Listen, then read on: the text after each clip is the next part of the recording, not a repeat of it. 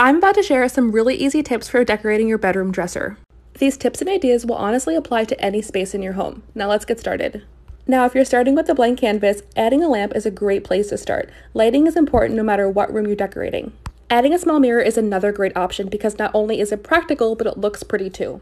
Decorative trays are great for bedroom dressers because they act as a base for other decor that you may want to add in later. Speaking of decor, I love using books as a decor because they add color to the space. Empty jewelry or gift boxes are another great decor option, plus they're free. I like using smaller decorative trays and dishes to house items that I use on a daily basis, like lip balm and jewelry.